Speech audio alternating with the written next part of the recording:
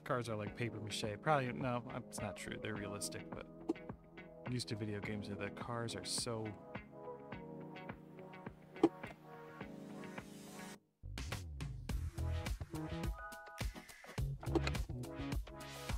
Keep going, keep going.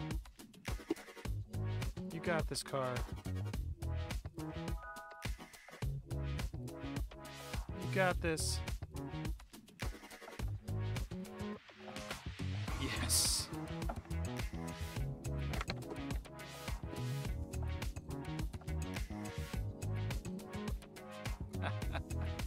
now that was what we were looking for.